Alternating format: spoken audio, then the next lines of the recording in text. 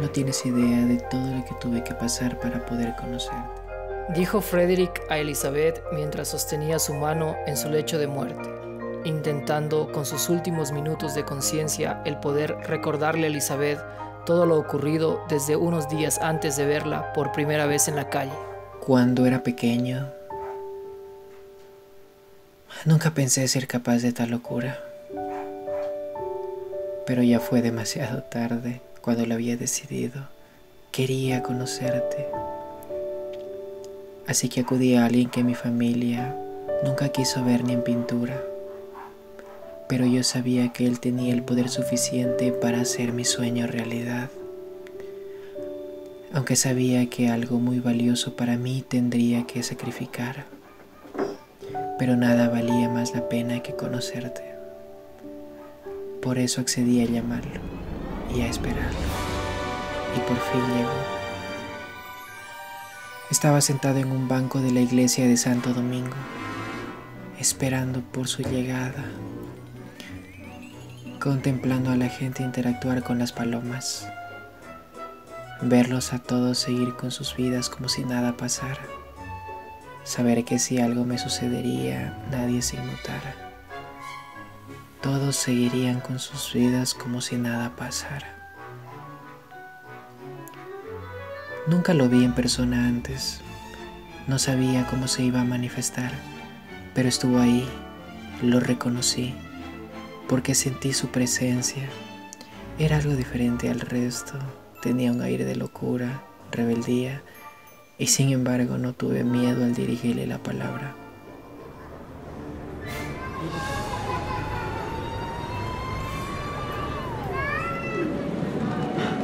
Frederick, dime, ¿en qué te puedo ayudar?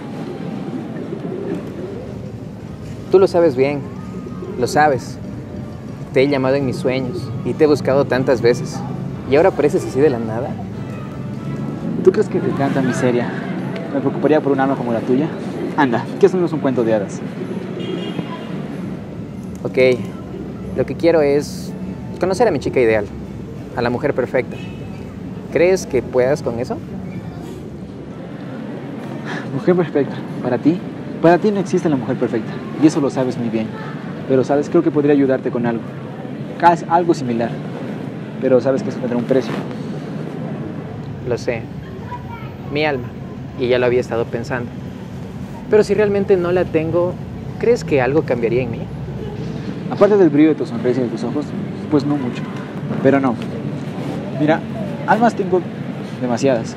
Pero yo, yo quiero algo que tú tienes y que nadie más me ha ofrecido.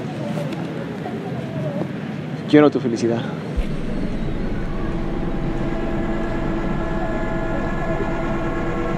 Mi felicidad. ¿Y cómo se supone que te daré eso? Esa es la parte fácil. Solo di que aceptes. Listo. Está bien. Acepto. Bien, Freddy. La tendrás. Por ahora habrá que decirnos adiós. No pueden verte conmigo.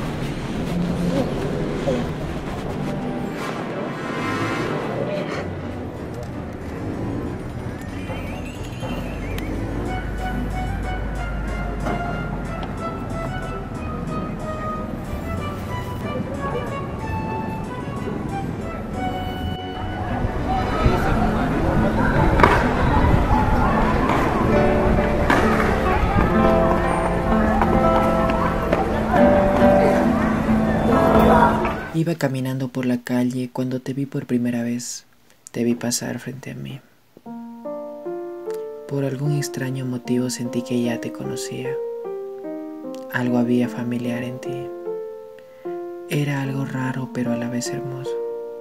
Estabas ahí, tan hermosa como siempre y con tu abrigo característico. De verdad me enamoré a lo lejos. Pero Tú no sabías de mi existencia. Mi corazón se detuvo un instante, pues me miraste. Regresé a ver. Hicimos contacto visual. y una sonrisa se me escapó. Tú la correspondiste y me volviste a ver.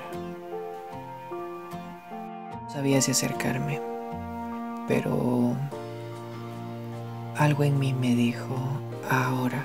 Sentía que era la hora de conocerte, ahora nunca. No te estoy aburriendo, recordándote cada detalle. No, continúa por favor. Necesito recordar cada detalle.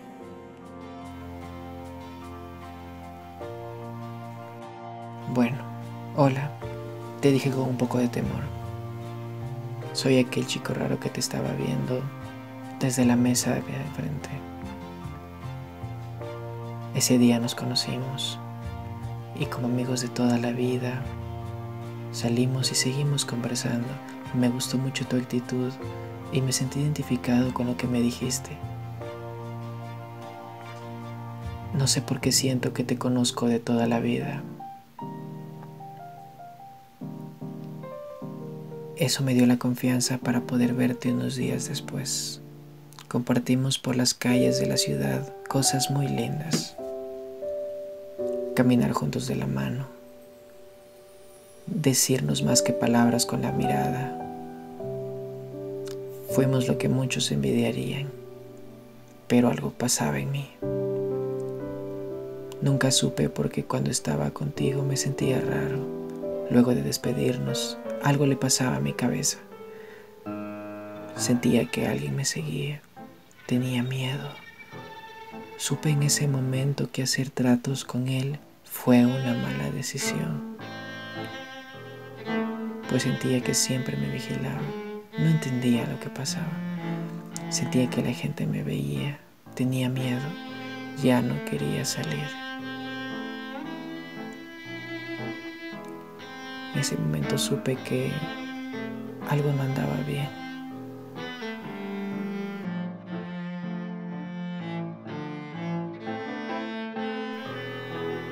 Nunca pensé que era tan grave.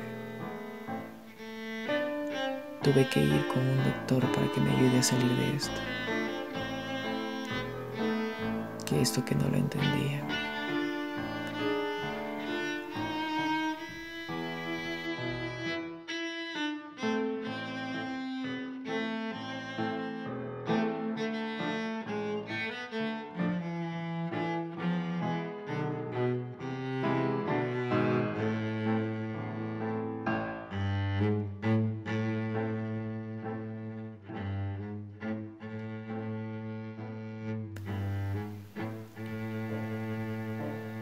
Nada más examinarme me envió algunos medicamentos. Debía tomarlos a diario.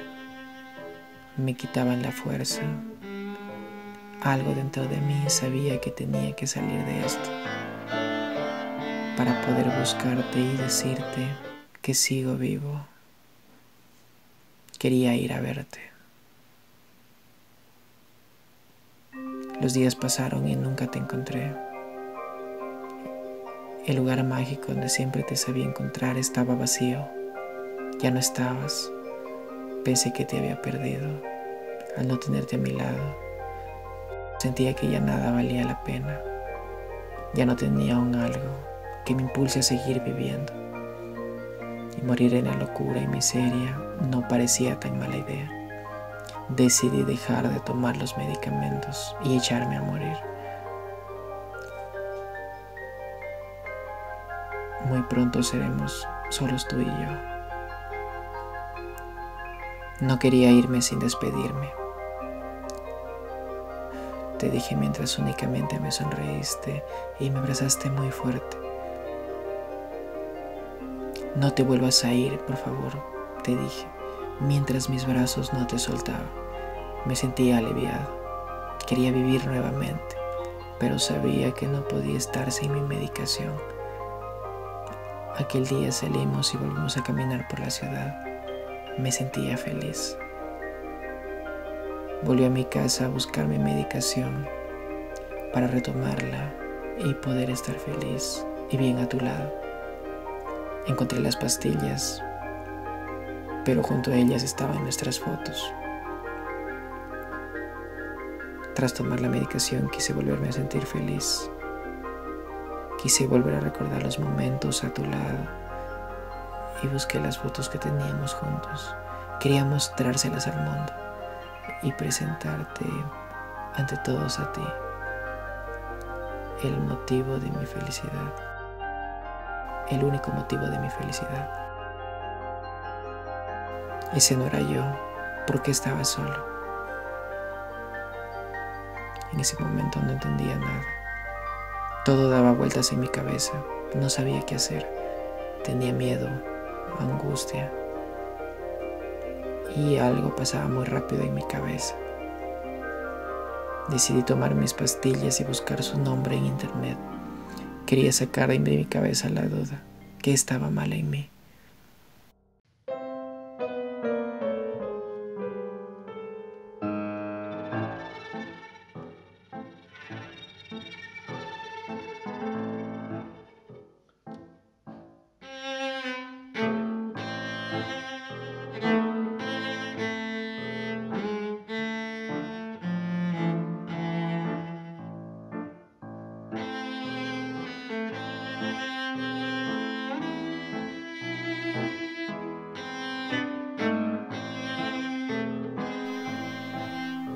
Mi cabeza tardó un momento en procesar todo lo que había pasado y descubrir por qué únicamente al tomar las pastillas todo se calmaba, pero tú desaparecías, como si nunca hubieras existido. Decidí abandonar el tratamiento. Yo quería ser feliz, aunque sabía que no lo podría hacer, pues ya firmé un trato. Decidí ir a buscarte y pasar contigo mientras mi cuerpo aún resistía.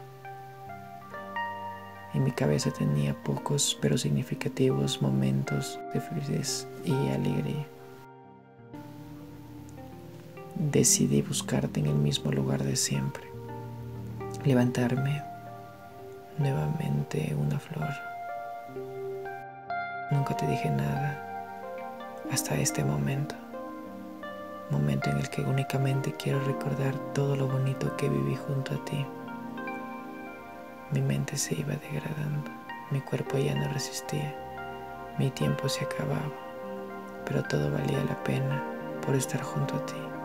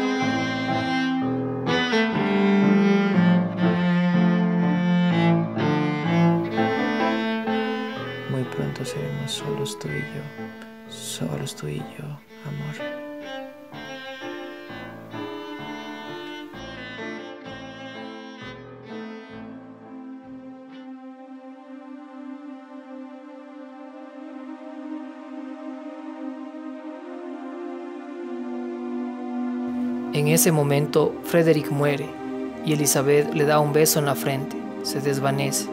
Sus amigos observaron de lejos los últimos momentos de vida de Frederick. Él hablaba solo, pero con una moribunda sonrisa en el rostro. El diablo desde una esquina observaba enfurecido, pues se sentía estafado al verlo sonreír en sus últimos momentos de vida.